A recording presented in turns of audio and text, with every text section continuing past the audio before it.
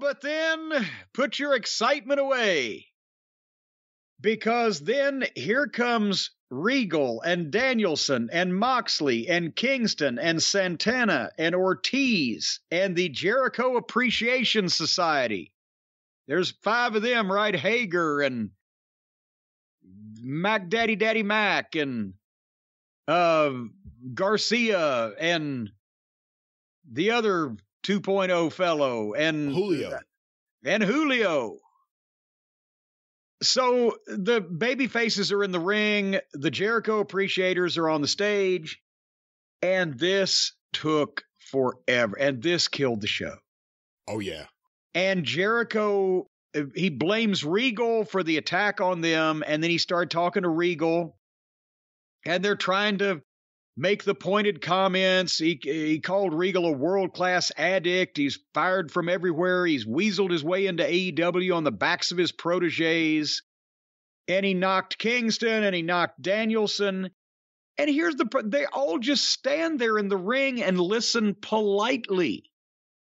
While the heel is it, it's it's one thing if you're going back and forth for a few minutes and and there's the ability to speak back and forth without throwing the other guy off, right? I've done a few of those. Lawler was a master at it. You have an argument with somebody, the other person doesn't stand there for three, four, five minutes and let you just vent your spleen. It's back and forth. The problem becomes when you have guys that get rattled and or lose their place. And there wasn't a great narrative in this to begin with. But the baby faces listen, even Moxley, a polite listener while Jericho tears him apart that went forever. And then Regal, and I love William Regal. And but he's not being I don't think used to the best of his abilities here. But he responded and he's it took him a while, but he said for 21 years, what's kept him going every night that he was anywhere Jericho was, he would go sneak in Jericho's bag, get his toothbrush, and shove it up his ass. Eh. So, meanwhile, Jericho then challenges them to a football field fuckery match. And Moxley immediately says, I ain't doing that shit. Thank God. The first thing he's ever said I've agreed with or admired him for. And then Moxley says, Well, how about you five versus us five? Now, here's the thing I counted the people involved. Counting Regal, there was six in the ring, but where was Yuta? Yuta was nowhere to be found. So if Yuta's gone, then they've got a five man team. But if Yuta's still there, then somebody's got to be the odd person out because Regal ain't wrestling. So the he, the baby faces have the heels outnumbered in this instance. But Jericho says okay, but he doesn't mind taking that match because all the baby faces hate each other and they probably won't be able to get along. And I had just written in block print, capital letters, this will not end when Eddie Kingston said, okay, let's hurry this up.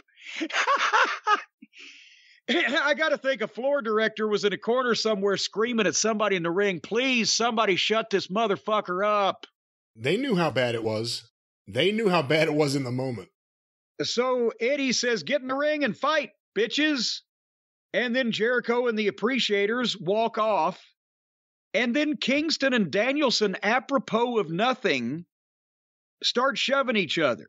Except the thing with Kingston went toward like he was going to get out of the ring, and Danielson's there, and Danielson just holds him back, like, no, don't do that. Well, shove, shove.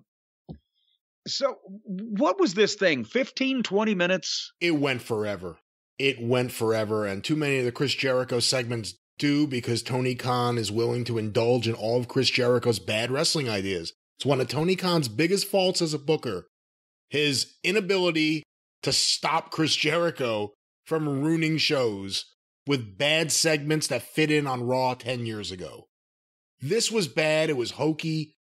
The big laugh I had was when Jericho points out, he goes, I burned your face, Eddie Kingston, and you couldn't take care of your family. And then they show Kingston. There's no burn mark. There's yeah, nothing. Yes, this, the video showed that he set fire to the top of Kingston's head. Unless Kingston was grooming a comb over, there was no fucking problem. Every time they showed Kingston, he was shrugging or looking bored. Kingston was all of us. during this segment.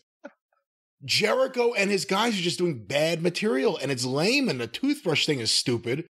He's talking about Regal not being used to the best of his ability. Bryan Danielson's a fucking neon And sign standing there, saying nothing, doing nothing. He didn't even speak.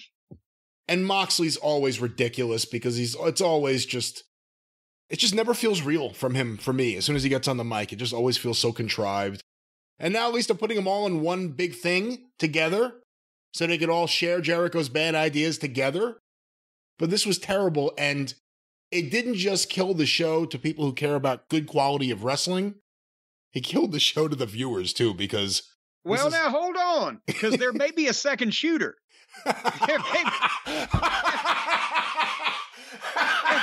Are you saying it's not Chris Jericho? He's Have, have we checked the grassy knoll?